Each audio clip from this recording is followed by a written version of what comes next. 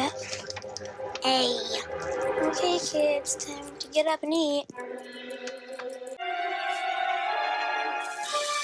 Hi, my name is Shelby Counterman. I am nine years old and I collect cockroaches. I remember when I was 14 years old and I started collecting roaches, man. When I started collecting roaches, I only had five. And now I have thousands. but did you fucking hear that, man? She collects cockroaches. You gotta love TLC, man. You gotta love TLC. The way they just take advantage of the oddballs of society and parade them around on TV for public mockery. You know, just what a beautiful way to make money, you know? And who am I to judge? I love it, you know? Bring on the freak show. I just feel bad for the kid, you know? Like her parents never straightened her out, you know? Like get get a look at these fucking mouth breathers. I like roaches because when they crawl my arms, they tickle me, and when I hold them, they make me real happy.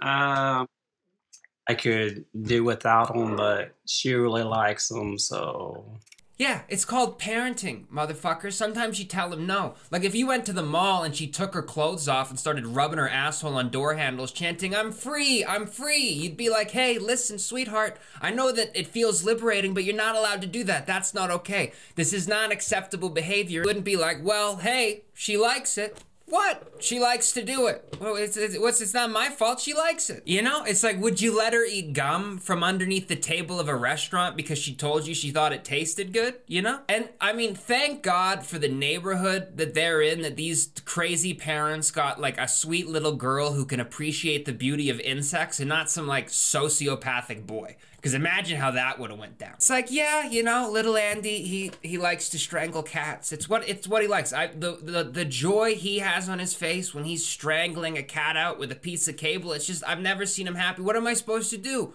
What am I supposed to do? My kid really likes it. It's like, what am I supposed to do? So you're supposed to parent them, motherfucker. That's it's what it's what you're, you're supposed to tell them. No, just tell her that cockroaches are nasty and buy her a bunny. Like, ho hopefully, pray to God that this kid doesn't get like really into heroin when she's a teenager. Or father of the year right here will be tying her arm for her. It's like, well, you know, she really likes it. You know, what can I say? Yeah, yeah, yeah. There's some things that people really like that you still shouldn't do. She really likes them so just you look in their eyes and they just they look so defeated. Like look at maury here. He almost wishes that he got that sociopathic boy you know? Like please god like why did why did you have to get me the girl that collects cockroaches? Couldn't you just given me like a pyromaniac who tried to burn a school down you know?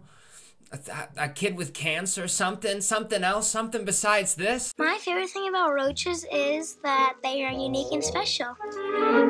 My favorite thing about cockroaches is that someday in the near future that they will all go away. Why? Why is he acting like that's not something he personally has control over? You know what I mean? It's like she's a kid. Tell her that like each one of the cockroaches feels enslaved by the fact that she owns them and that they really want to go live out in the wild and that she's torturing them like Sid in Toy Story by keeping them in that box. You know, make some shit up. She's a kid. Tell her that every single moment of those cockroaches' incarnation is spent in like a hellish paradigm of boxish, slavish hell. You know, tell them, tell them that they're suffering by being in her care. This is a taxidermy beetle. I use them to clean out the dead bugs in my cage so it doesn't smell so bad. They're called taxidermy beetles because they eat the flesh off bones. Okay, and and never mind. She is she is well aware of the dystopia that she reigns over. She really she this kid's got a god complex. She's got she's got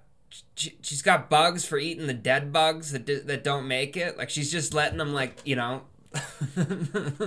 These co- this this kid is like she's some Western kid in America, and she's letting her she's letting her cockroaches starve like they're in the fucking Soviet Union. They're all they're all starving to death, and she's got other beetles eating them. This is fucked up, man. Well, hey, that was another episode. That was fun. You know, again, just want to say how great TLC is for bringing light into our lives by just showing us how different we can be, but that we should accept and respect those differences. Anyways, you guys take it easy.